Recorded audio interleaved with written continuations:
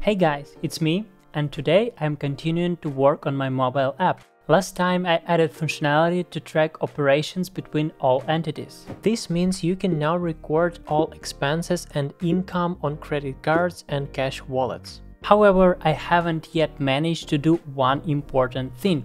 I haven't added the API that will connect my mobile application to the backend. Additionally, I noticed a significant problem. My PyCharm is configured in a way that every time I save a file, it auto-formats and also removes unnecessary imports.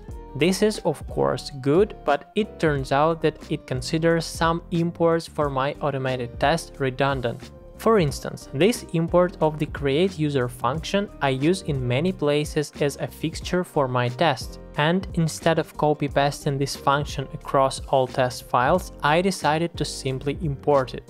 I don't know exactly how to fix this problem, so I decided to ask ChatGPT. To be honest, I didn't like any of the answers because it offered solutions that either ignored the problem or created new ones. So I went to Google. It turned out that this is a well-known problem and there is a solution. Instead of importing shared fixtures throughout the model, you can add a conftest.py file which will contain all the necessary functions and PyTest will find them for each test by name.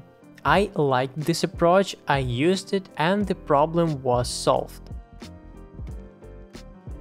To be honest, I could have ignored this issue at all and continued developing the application but I really want to write code that I'll be able to maintain in the future. Well, it is time to work on the API that will link the mobile app to the backend. I need to add API endpoints for creating all four types of operations. Actually, at this stage of development, they are quite similar, so in essence, I have to write only one view set from scratch and then adapt the models and services for other entities. I started with the replenish account. I had a small break, so I initially began writing the view set itself, but this doesn't fit the test-driven development approach, since tests should be written first. I eventually finished writing the functionality and then switched to automated tests.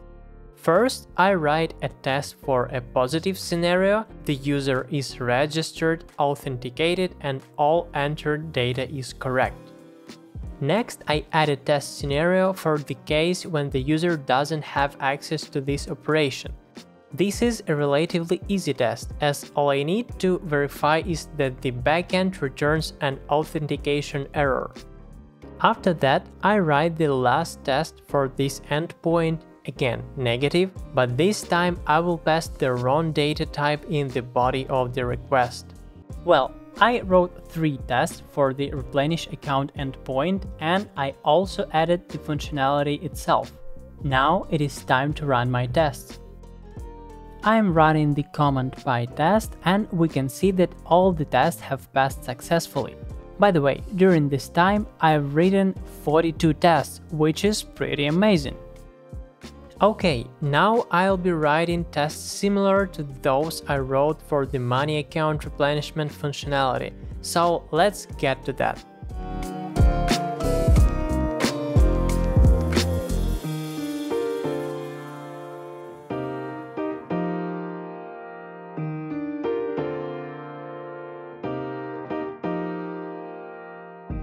Okay, I wrote all tests, I wrote all the functionality for my endpoints, and now let's check how it works. I'm running the command PyTest and we can see that all the tests have passed successfully. It is time to make a commit and push my code to the repository.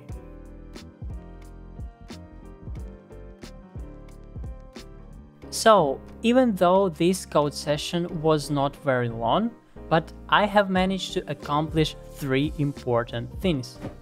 Add API endpoints for money operations, write tests for them, and also do a refactoring of the existing automated tests. You might ask, where is actually your application? And your question would be very apt. Next time I'll finally be connecting the backend and frontend, so my React Native app will be connected to the data. Thank you friends for watching this video, I really appreciate it. See you next time.